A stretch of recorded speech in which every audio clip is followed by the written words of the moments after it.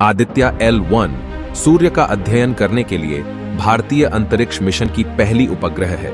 इस अंतरिक्ष यान को सूर्य पृथ्वी प्रणाली के Lagrange point one L one के चारों ओर की एक हैलो प्रांति में रखा जाएगा, जो पृथ्वी से लगभग 1.5 मिलियन किलोमीटर दूर है। आदित्य एल वन मिशन के प्रमुख विज्ञान उद्देश्य हैं, सूर्य की ऊपरी वायुमंडल क्रोमोस्फियर और कोरोना, की गति की अध्ययन। क्रोमोस्फिरिक और कोरोनल गर्मी आंशिक आयनाइज्ड प्लाज्मा का भौतिकी, कोरोनल मास उद्घाटन और फ्लेयर्स का आरंभ करने की भौतिकी। कोरोनल मास उद्घाटनों के विकास, गतिकी और उत्पत्ति, वह श्रृंगी प्रक्रियाओं की श्रृंगी की पहचान करना जो अन्यायों में होती है, क्रोमोस्फीयर, आधार और विस्तारित कोरोना, जो आखिरकार सूर्य के उद्वेगी घटनाओं का कारण बनती है। अंतरिक्ष मौसम के लिए ड्राइवर, मौलिकता सूर्य की वायु आक्रमण की उत्पत्ति और गति